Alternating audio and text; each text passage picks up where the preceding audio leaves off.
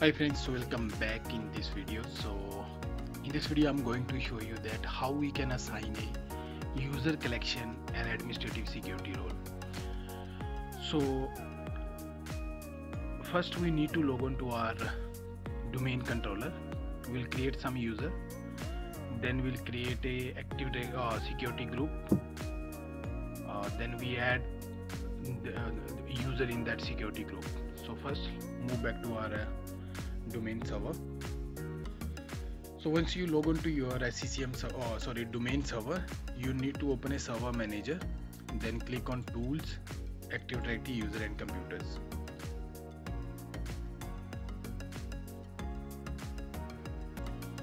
Here I'm going to create a new user uh, under my organization unit users. So you can create a user where you want. So I'm going to create a user called IT manager okay sorry.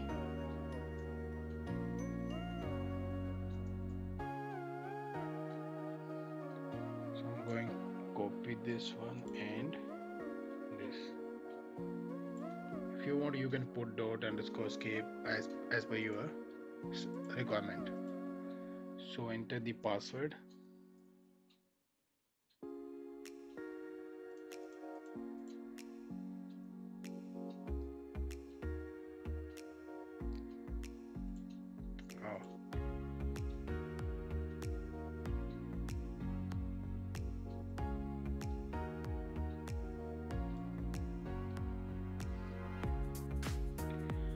then finish. So now we have created this user. And if you click on member of this user don't have any membership. So now back to security group. So we are going to create a new security group. Uh, scope is a global and scope type security. So SCCM admin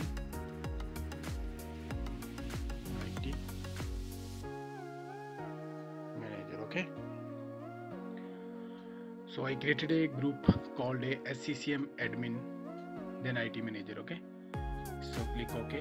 So now we have this group. Just right click on the group and choose properties members add IT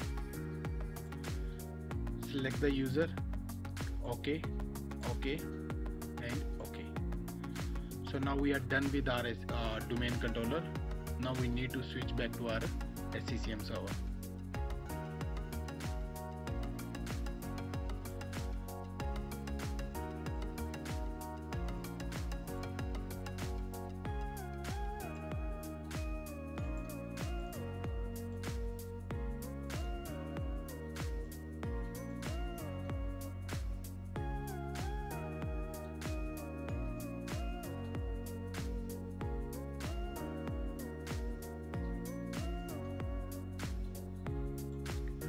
so now I log on to my SCCM server.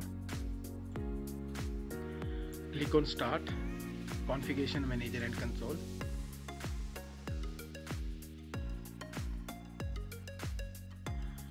From workspace area we need to click on asset and compliance user collection. Just right click on user collection and create a user collection. So name it SCCM underscore admin underscore IT manager okay? So now we are creating a collection. So click browse select all user and groups okay? Click next. Add rule direct rule next. Resources classes should be a user group resources. And attribute name is a uh, active directory container name. Enter the value percentage. So next from here we need to select that user. But I'm not sure that will reflect here. We need to wait. So I'm going to pause the video. And uh, maybe after four or five minutes that uh, resource will reflect here okay so guys in my live environment it took around 8 to 10 minutes. So it's totally depend upon the object size in your organization. So you need to wait. If it's not reflecting you just need to create a direct rule again. So now I need to select this user uh, security group uh, STP SCCM admin underscore IT manager then click next next and close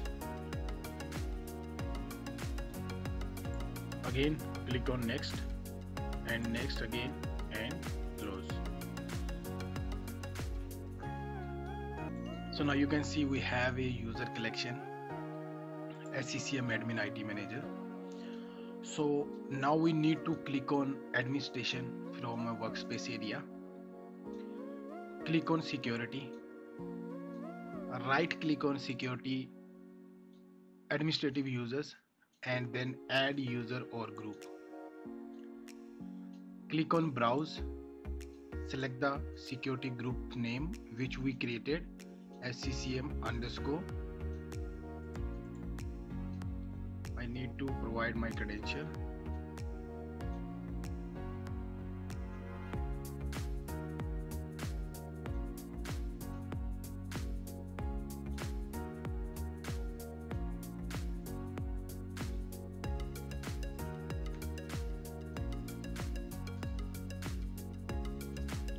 then click OK. Uh, from assigned security role click on add button. So here are the 15 role. So in this lab we are going to perform a full administrator but uh, maybe in your scenario you can choose a different uh, security role as per your requirement. So select the role and click ok. Uh, from assigned security scope and collections make sure the only instance of object that are assigned that specific scope or collection. So from here we need to click on add collection. Here we need to select that collection. Uh, I'm talking about the user collection which we created SCCM admin underscore IT manager okay? So click OK. Then OK. So here we go so if we click on administrative users you can see that uh, we have a administrative security group now. It's a called collection but it's a SCCM admin IT manager. So as we just added IT manager in this security group so now it's time to test that user having a full administrator access or not okay so right now we need to switch out uh, sign out from this user.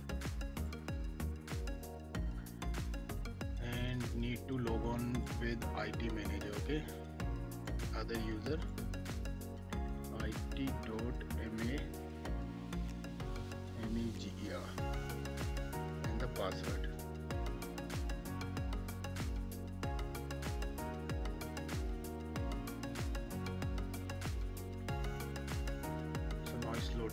profile